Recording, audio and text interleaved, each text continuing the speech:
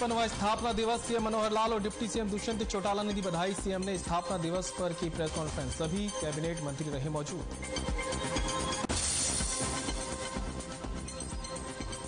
Paper leak माफियाओं पर CM सख्त कहा, पेपर लीक माफियाओं को जड़ से करेंगे खत्म नौकरियों में मेरिट लिस्ट को किया लागू।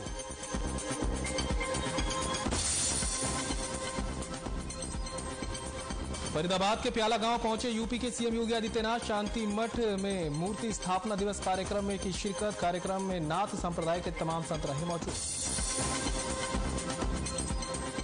दिवाली के त्यौहार पर छाया कोरोना का खतरा। वायरस के डर ने फीकी की बाज़ार की रौनक। दुकानदारों को सता रही व्यापार कम होने की चिंता।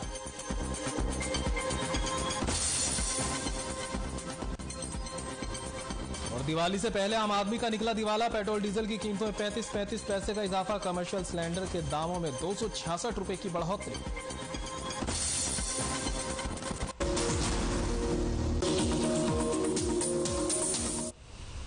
नमस्कार, हर खबर हरियाणा पर, मेट्रो सिटी लेकर मैं हूँ आपके साथ संदीप निरंजन सरकार। फरीदाबाद के सेक्टर 15 कम्युनिटी सेंटर में जेजेपी ने दिवाली पूजन किया। इस मौके पर जेजेपी के युवा जिला अध्यक्ष नलिन हुड्डा ने कहा कि उन्होंने पूरे शहर के लिए दिवाली पूजन किया है और माँ लक्ष्मी से कामना की है कि वह शहर के लोगों को सुख समृद्धि दे और उन्हें सेहतमंद बनाए रखे। साथ ही उन्होंने कहा कि जेजेपी की टीम दुष्यंत चौटाला के नेतृत्व में समाज के लिए बढ़ चढ़कर कार्य कर रही है। कोरोना में भी उनकी टीम ने चाहे मास्क वितरण हो या सैनिटाइजर वितरण हर क्षेत्र में काम किया है।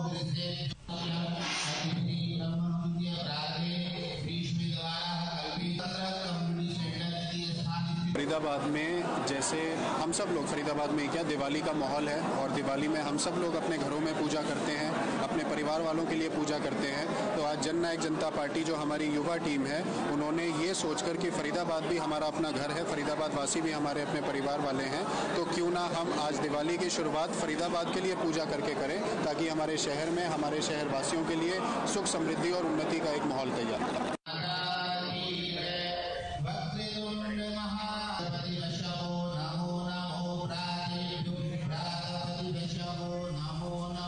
फरीदाबाद के सेक्टर 15 कम्युनिटी सेंटर में जेजेपी ने दिवाली पूजन किया। इस मौके पर जेजेपी के जिला युवा जिलाध्यक्ष नलिन हुड्डा ने कहा कि उन्होंने पूरे शहर के लिए दिवाली पूजन किया और माँ लक्ष्मी से कामना की है कि वे शहर के लोगों को सिख समृद्धि दे और उन्हें सेहतमंद बनाए रखे। साथ ही उन्होंने कहा कि जेजेपी की टीम दुष्यंत चौटाला के नेतृत्व में समाज के लिए बढ़ चढ़कर कार्य कर रही है। कोरोना में भी उनकी टीम ने चाहे मास्क वितरण हो, या सैनिटाइजर वितरण, हर क्षेत्र में बखूबी काम किया है और लोगों की सेवाएँ की है।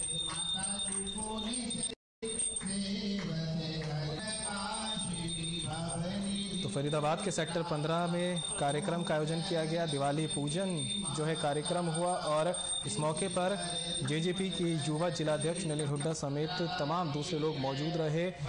और नलिन हुड्डा ने कहा कि उन्होंने पूरे शहर के लिए दिवाली पूजन किया है और माँ लक्ष्मी से कामना की है कि वे शहर के लोगों पर अपनी कृपा बनाकर रखें, सुख समृद्धि दे और उन्हें सेहतमंद बनाए। साथ ही उन्होंने कहा कि जेजेपी की टीम दुष्यंत चौटाला के नेतृत्व में समाज के लिए बढ़ चढ़कर कार्य कर रही है। कोरोना में भी उनकी टीम ने चाहे मास्क वितरण हो या सैनिटाइजर वितरण, हर क्षेत्र में काम किया है।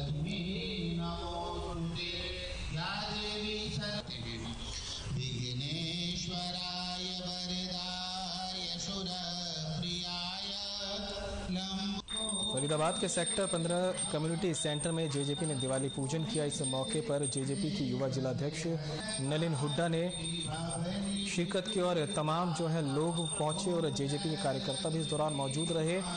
नलिन हुड्डा ने कहा कि उन्होंने पूरे शहर के लिए दिवाली पूजन किया है और माँ लक्ष्मी से कामना की है कि सभी पर अपनी कृपा बनाए रखे, सेहतमंद रखे और उन पर अपना आशीर्वाद बनाए रखें। साथ ही उन्होंने कहा कि जेजेपी की टीम दुष्यंत चौटाला के नेतृत्व में समाज के लिए बढ़ चढ़कर कार्य कर रही है। कोरोना में भी उनकी टीम ने चाहे मास्क वितरण हो या सैनिटाइजर वितरण, हर क्षेत्र में काम किया है।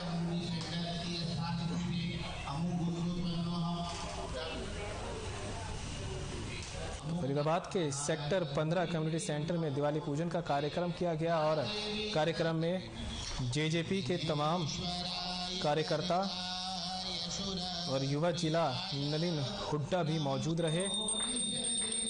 उन्होंने पूरे शहर के लिए दिवाली पूजन किया और माँ लक्ष्मी से कामना की कि लोगों पर अपनी कृपा बनाए रखे। साथ ही उन्होंने कहा कि जेजेपी की टीम दुष्यंत चौटाला के नेतृत्व में बढ़ चढ़कर विकास कार्य कर रही है। लोगों को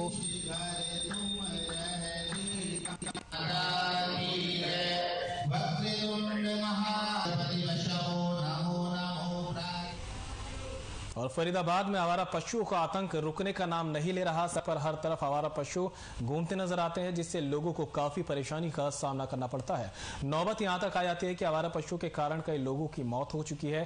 ताज़ा मामला फरीदाबाद के गाँव खीड़ी का है, जहाँ एक आवारा सांड ने बुज़ुर्ग महिला को टक्कर मार दी, जिससे बुज़ुर्ग महिला की मौत हो गई। बता दें कि पूरी घटना सीसीटीवी में कैद हो गई।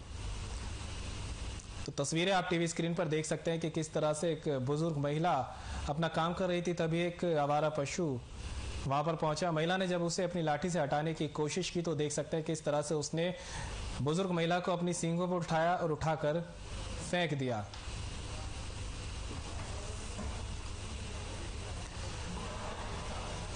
और इस पूरे मामले में बुज़ुर्ग महिला की जो है मौत हो गई है। लगातार फरीदाबाद को कैटल फ्री बनाने का दावा किया जाता रहा है। प्रशासन ये दावे करता है कि फरीदाबाद को कैटल फ्री बनाएगा, लेकिन स्मार्ट सिटी की तस्वीर आप देख सकते हैं कि किस तरह के दावों पर जो है यहाँ पर हवा निकलती दिख रही है। चाहे शहर की गलियों की बात करें या सड़कों की या बाजारों के, आवारा पशुओं का आतंक लगातार देखने को मिलता रहता है, जहाँ सड़क हादसे इन आवारा पशुओं की वजह से होते रहते हैं। वहीं दूसरी तरफ़ आज जो तस्वीर आई है, वो सन्न कर देने वाली तस्वीर है। आपकी टीवी स्क्रीन पर देखिए किस तरह से बुज़ुर्ग महिला को उठाकर यह आवारा पशु फेंक देता है। बुज़ुर्ग महिला की मौत हो चुकी है, लेकिन प्रशासन जो है अभी भी कुछ सुनने को तैयार नहीं है, देखने को तैयार नहीं है। प्रशासन अभी भी लगातार अपनी आँखें मूंदे बैठा है। तो कैटल फ्री का जो सिटी का दावा है, वो कहीं ना कहीं हवाई होता है दिख रहा है। ज़्यादा जानकारी के लिए पूजा शर्मा हमारे सहयोगी हमारे साथ जुड़ चुकी हैं। पूजा, जिस तरह से प्रशासन लगातार ये दावे करता है कि वो सिटी को कैटल फ्री बना देगा, लेकिन जो तस्वीरें टीवी स्क्रीन पर हम अपने दर्शकों को दिखा रहे हैं, झकझोर देने वाली पूरी तस्वीर है और साफ़ बता रही है कि जो कैटल फ्री के दावे हैं, वो कितने हकीकत में दिख रहे हैं। देखिए बिल्कुल फरीदाबाद में आवारा पशुओं का आतंक की जो समस्या है, वो बहुत लंबे समय से चली आ रही है और लोग लगातार इसकी शिकायत भी करते रहते हैं। लेकिन कहीं ना कहीं ये मुद्दा जो है प्रशासन के लिए, जनप्रतिनिधियों के लिए गौर नज़र आता है और जिसका खामियाजा, जैसा आप सीसीटीवी कैमराज में जो कैद हुई है, तस्वीरें उसमें देख सकते हैं कि एक बुज़ुर्ग महिला को भुगतना पड़ा। ये महिला जो है खेड़ी गाँव में रहती हैं और अपने घर के बाहर बैठी हुई थी और जब इन्होंने ये आवारा पशु इनके नज़दीक आया, उन्होंने भगाने की कोशिश की तो आप देख सकते हैं कि कितनी बेदर्द तरीके से हवा में उछाल दिया और उसके बाद बुज़ुर्ग महिला गंभीर रूप से घायल हो गई। स्थानीय लोग और परिजन मौके पर पहुँचे और उन्होंने तुरंत स्थानीय अस्पताल में बुज़ुर्ग महिला को भर्ती कराया, लेकिन कुछ देर बाद ही बुज़ुर्ग महिला ने दम तोड़ दिया और इस पूरे घटनाक्रम के बाद आसपास के जो लोग हैं, उनमें दहशत का माहौल है। साथ साथ एक प्रशासन के प्रति गुस्सा भी नज़र आ रहा है, क्योंकि कई बार वे स्थानीय पार्षद से भी इस बात की शिकायत कर चुके हैं। नगर निगम सदन की बैठक में भी यह मद- मुद्दा जो है वो गूंज उठा, गूंज चुका है कि आवारा पशुओं के कारण किस तरह से लोग दुर्घटनाग्रस्त हो रहे हैं, बच्चों को शिकार बना लेते हैं, ये आवारा पशु वाहन चालक चोटिल हो जाते हैं, लेकिन उसके बावजूद भी जो नगर निगम प्रशासन है, उसके लिए ये समस्या कोई इतनी बड़ी समस्या नहीं है जिस पर, जिसका संज्ञान लिया जाए, लेकिन कहते हैं कि सांप निकल जाने के बाद प्रशासन लकीर पीटता नज़र आता है तो यही कारण है कि जब ये घटना घटित हुई तो उसके बाद निर्देश दिए गए स्थानीय जनप्रतिनिधि थे कि आवारा पशुओं को लेकर नगर निगम अधिकारियों के साथ बैठक की जाएगी ताकि इस तरह की घटना की पुनरावृत्ति न हो।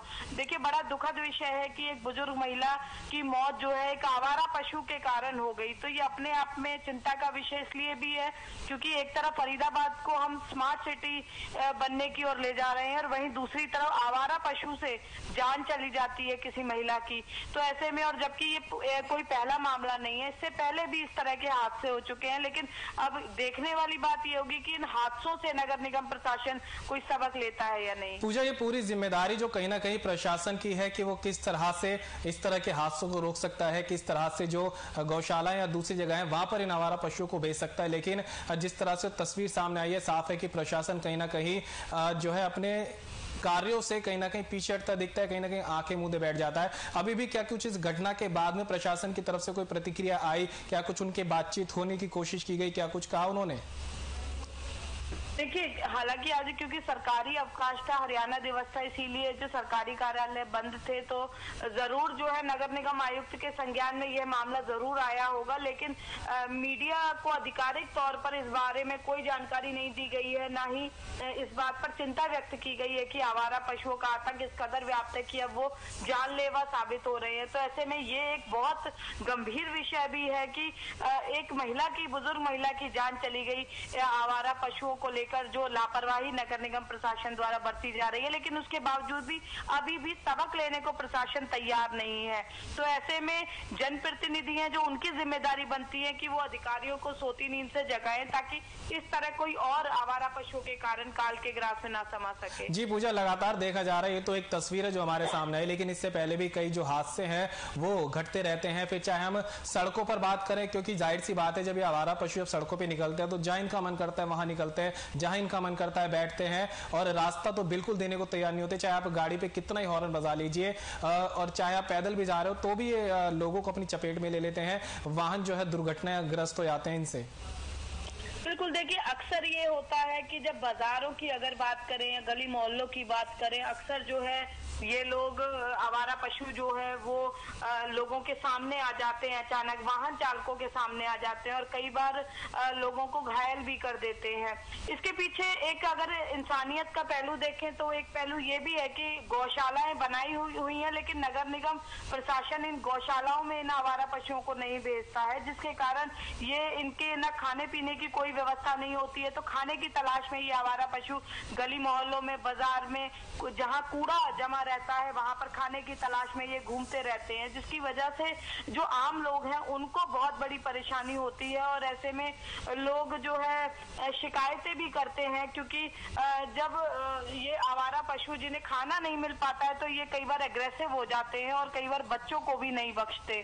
तो ऐसे में बहुत लोग ऐसे हैं, जो चोटिल हो चुके हैं बहुत बच्चे ऐसे हैं जो इन आवारा पशुओं का शिकार हो चुके हैं और केवल ऐसा नहीं है कि घायल हो चुके हैं, कई लोगों की मौत भी हो चुकी है। कई वाहन चालक ऐसे हैं जो अचानक जिनके सामने आवारा पशु आ गए हो और उसकी वजह से उनके वाहन का संतुलन बिगड़ गया और उन्हें अपनी जान से हाथ धोना पड़ा। और बानगी देखिए कि ये केवल गली मोहल्लों का, सड़कों का नज़ारा नहीं है, बल्कि राष्ट्रीय राजमार्ग भी इससे अछूते नहीं है, जो कि एक बड़े हादसे को आमंत्रण दे सकते हैं। क्योंकि राष्ट्रीय राजमार्ग पर तेज गति से वाहनों का आवागमन रहता है और कई बार ऐसी स्थिति देखी गई है कि ये आवारा पशु बीचों बीच सड़क के बैठ जाते हैं। तो ऐसे में यदि कई बार राष्ट्रीय राजमार्ग तक की प्रमुख सड़कें जो है, वहाँ की स्ट्रीट लाइटें भी बंद होती है और गुफान गुफ अंधेरा जो है, वो उन सड़कों पर होता है। तो ऐसे में वाहन चालकों को कई बार ये आवारा पशु दिखाई नहीं देते और अचानक से सामने आ जाने के कारण बड़ा हादसा भी हो जाता है।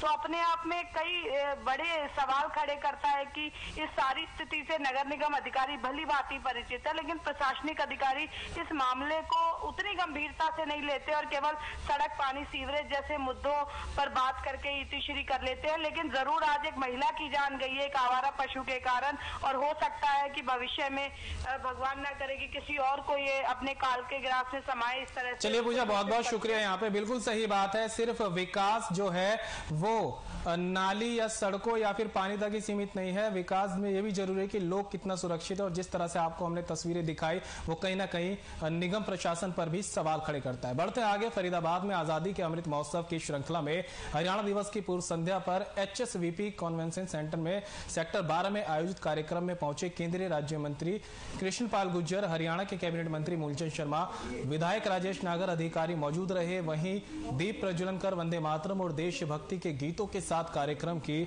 शुरुआत की गई।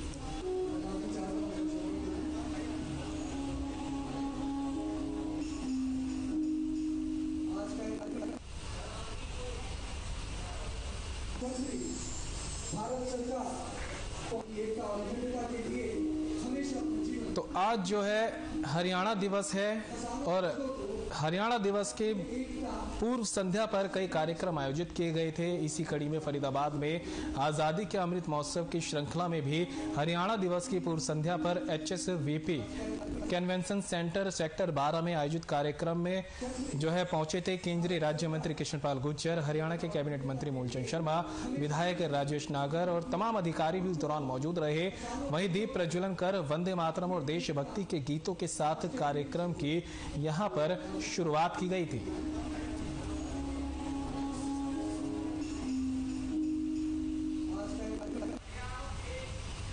और यहाँ रुक रहे हैं छोटे से ब्रेक के लिए, कहीं मत जाइएगा। जल्द होंगे हाजिर।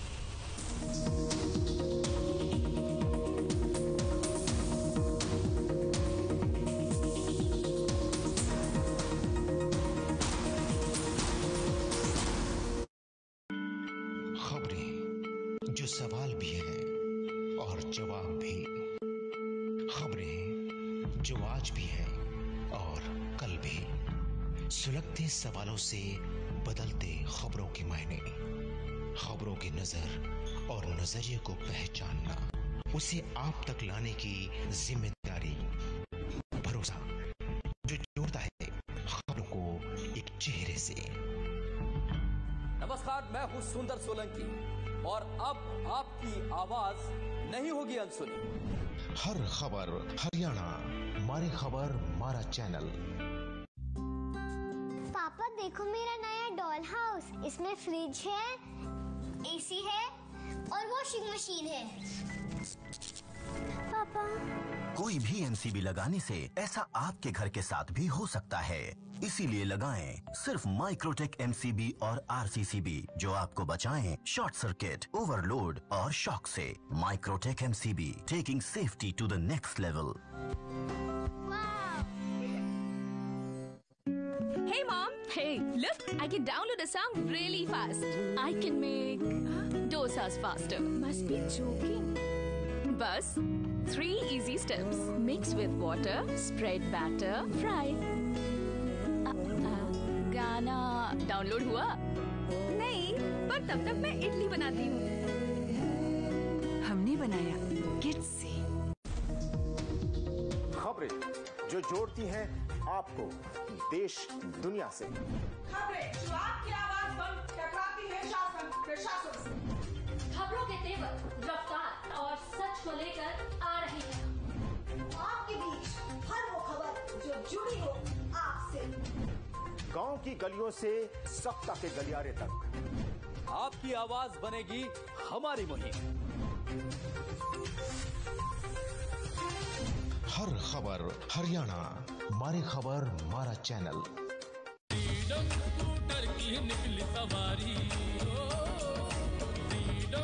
आज़ादी की नई उमंग। उकाया फ्रीडम के साथ 11 करोड़ से भी ज़्यादा भारतीयों का भरोसा। उकाया इलेक्ट्रिक व्हीकल।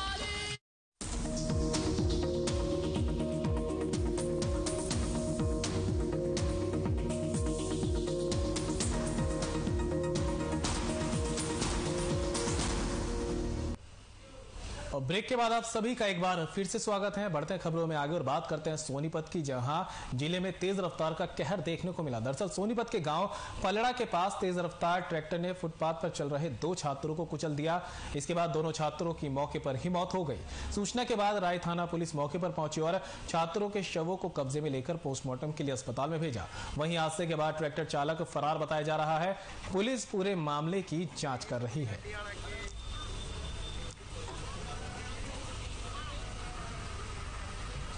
तो सोनीपत में तेज रफ्तार का कहर देखने को मिला है। सोनीपत के गाँव पलड़ा के पास तेज रफ्तार ट्रक ने फुटपाथ पर चल रहे दो छात्रों को कुचल दिया। छात्रों की इस दौरान मौके पर ही मौत हो गई। सूचना पुलिस को दी गई और राय थाना पुलिस मौके पर पहुँची, जिसके बाद शवों को कब्जे में लेकर पोस्टमार्टम के लिए अस्पताल में भिजवा दिया गया। वहीं हादसे के बाद ट्रैक्टर चालक मौके से फरार बताया जा रहा है। पूरे मामले की जाँच में पुलिस जुट चुकी है। तो तेज रफ्तार का कहर जो है सोनीपत में एक बार फिर देखने को मिला है। सोनीपत के गाँव पलड़ा के पास तेज रफ्तार ट्रैक्टर ने फुटपाथ पर चल रहे दो छात्रों को कुचल दिया और इस हादसे में दोनों छात्रों की मौके पर ही मौत हो गई। बताया जा रहा है कि दोनों छात्र फुटपाथ पर जा रहे थे और पीछे से ये ट्रैक्टर तेज रफ्तार में आया और छात्रों को अपनी चपेट में ले लिया। गाँव खेवड़ा में एक्सीडेंट हो गया है। जो हम वहाँ पर सूचना पर मौके पहुँचे, जहाँ पर देखा बस जो अठारह उन्नीस उन्नीस साल की दो लड़कियाँ की एक्सीडेंट के कारण मौत हो गई जो अंदर सपोर्ट में मृत पाए गए, जिनके पोस्टमार्टम के लिए जी एच सोनीपत में जो है वहाँ पर शव को रखा गया। जो अगली कार्रवाई, जिस एक्सीडेंट ट्रैक्टर के साथ एक्सीडेंट हो उसके साथ कानूनी कार्रवाई की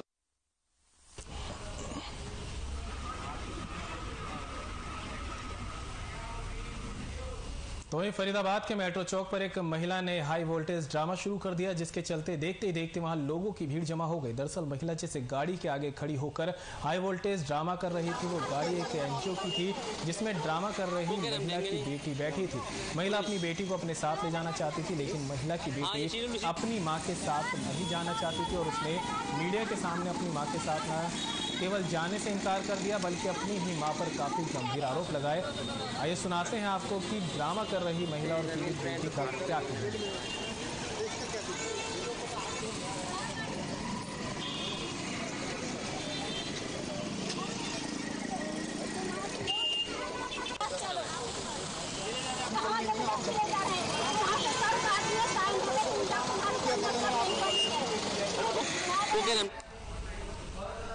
पूजा शर्मा हमारे सहयोगी हमारे साथ जुड़ चुकी हैं। पूजा, महिला ने हाई वोल्टेज ड्रामा किया, गाड़ी के आगे ये ड्रामा किया गया क्योंकि एनजीओ की जो टीम थी वो महिला की बेटी को लेके जा रही थी। बेटी ने साफ़ कह दिया कि उसे अपनी माँ के साथ नहीं जाना, गंभीर आरोप लगाए। क्या कुछ अपडेट है, क्या कुछ जानकारी आपके पास में इससे जुड़ी है?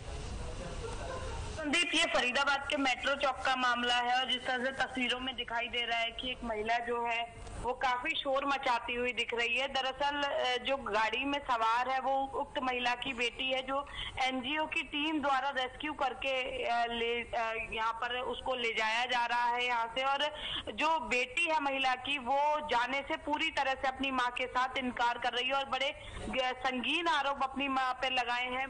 बेटी ने बताया मीडिया से बातचीत करते हुए कि जो उसकी माँ है वो उसका जो चरित्र है वो ठीक नहीं है और उस, उसने अपने जो है वैवाहिक जीवन को लेकर भी कई अपनी माता के वैवाहिक जीवन को लेकर भी कई खुलासे किए और कहा कि उसकी मदर ने दूसरी शादी कर ली थी और जो उस, उनका सौतेला पिता था। वो उसके साथ दो वर्ष पूर्व दुष्कर्म कर चुका है और ऐसे में वे लड़की काफ़ी भयभीत थी और जब इसकी सूचना एनजीओ को मिली तो उन्होंने तुरंत लड़की से संपर्क किया और जब वे उस लड़की को अपने साथ ले जा रही थी एनजीओ की टीम तो उक्त युवती की माँ वहाँ पर पहुँच गई और उन्होंने काफ़ी वहाँ पर शोर मचाया और जो एनजीओ की टीम थी उसको अपनी बेटी को ले जाने से रोक रही थी। वहीं जो बेटी थी वो भी सीधे तौर पर मना कर रही थी कि उसे अपने सौतेले पिता से खतरा है और वे किसी भी हालत में वहाँ से जाना नहीं चाहती है। तो हालाँकि पूरा दिन ये पूरा मामला फरीदाबाद में चर्चा का विषय बना रहा क्योंकि मेट्रो चौक अपने आप में काफ़ी व्यस्तम एरिया माना जाता है।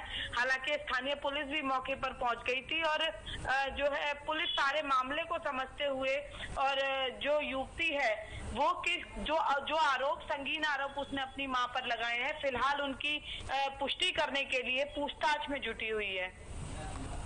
तो पुलिस की तरफ़ से क्या कुछ कार्रवाई की जा रही है और जो एनजीओ महिला की बेटी को लेने पहुँची थी उनकी तरफ़ से क्या कुछ बयान सामने आया है?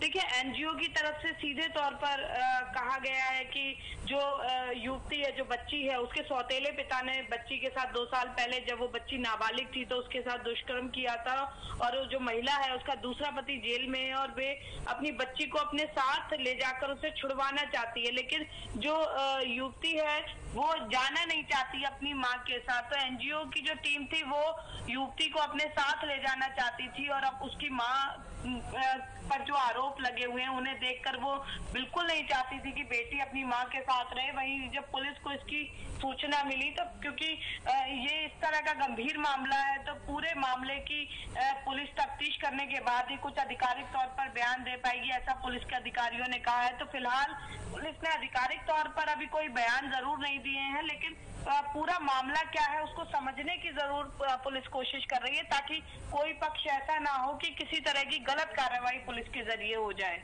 चलिए पूजा, बहुत बहुत शुक्रिया तमाम जानकारी के लिए। और फ़िलहाल इस बुलेटिन में इतना ही, दीजिए इजाज़त। नमस्कार।